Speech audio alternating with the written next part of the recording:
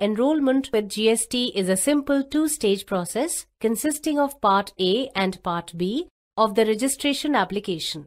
This video will introduce you to Part A of the registration application. To begin, access the GST website www.gst.gov.in.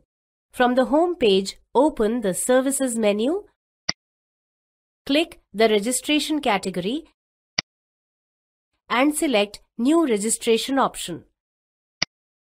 Note that the fields marked with a red color dot are mandatory fields. Select New Registration and GST Practitioner.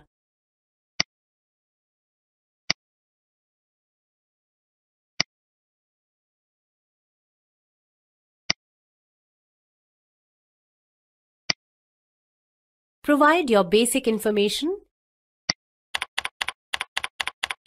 including the permanent account number PAN. Make sure to enter a valid email address and Indian mobile phone number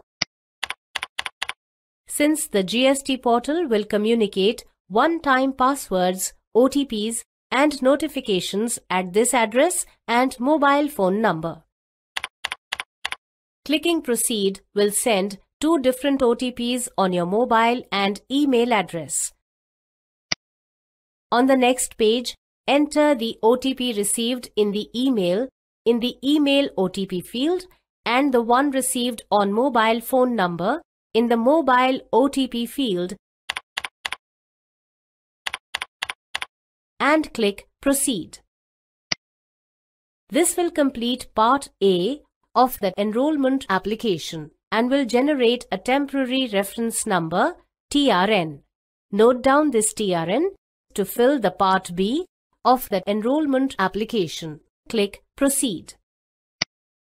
Enter the TRN that was generated on submitting Part A of the registration application. Enter the CAPTCHA as usual and click Proceed. This will trigger an OTP. Enter the OTP received and proceed further. Notice the status of the registration application shows as draft.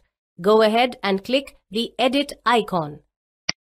Part B has four sections, with each section containing multiple fields that need to be filled up.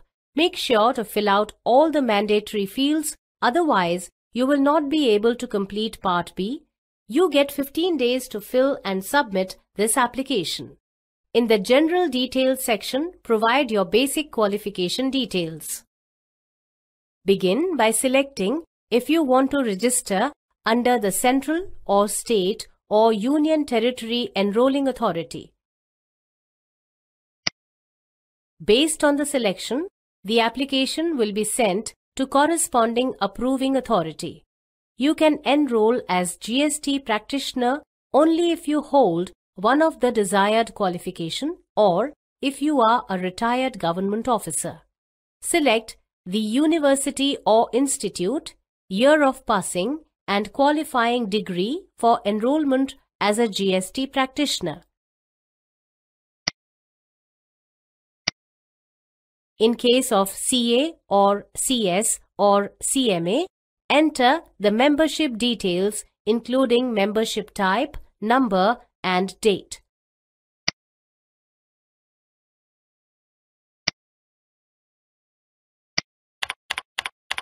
Upload a document supporting your qualification or proof of you being a retired government officer.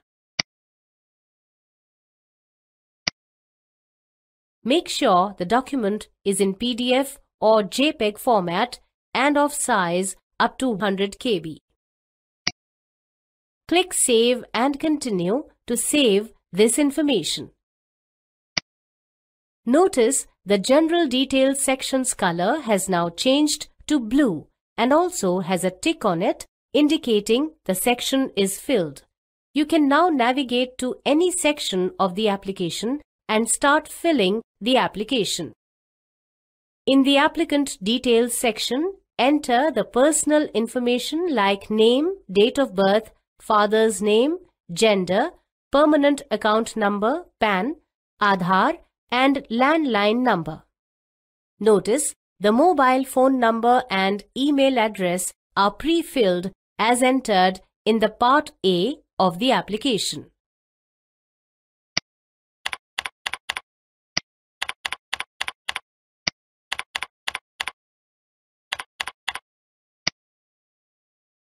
Next, upload the photograph.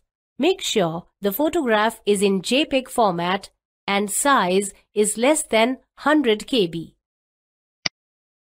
Click the Save and Continue button. The next section allows entering the professional address.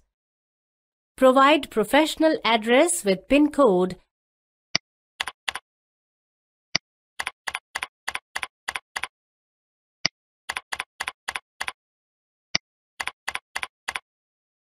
and upload necessary proof of address. Make sure the document is in PDF or JPEG format and size is less than 1 MB.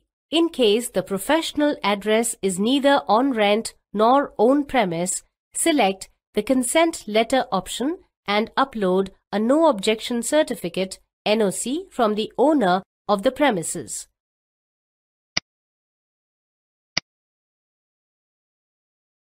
Once done, verify the application. You can submit the application using PAN-based Class 2 or 3 Digital Signature Certificate DSC, but before submitting the application using DSC, the DSC needs to be registered using the Register DSC service on the portal. Alternatively, the application can be submitted using the e-sign or electronic verification code EVC option. Both these services are Aadhaar-based service and require you to have the mobile phone number registered with the Aadhaar database handy. In case of EVC, you will need to enter the OTP for authentication.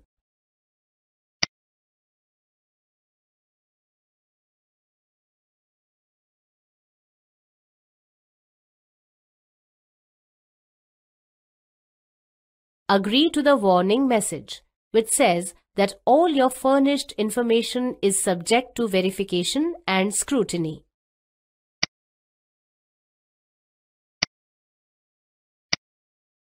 Upon successfully submitting Part B of the registration application, an Acknowledgement Reference Number ARN will be sent on your mobile phone number and email address.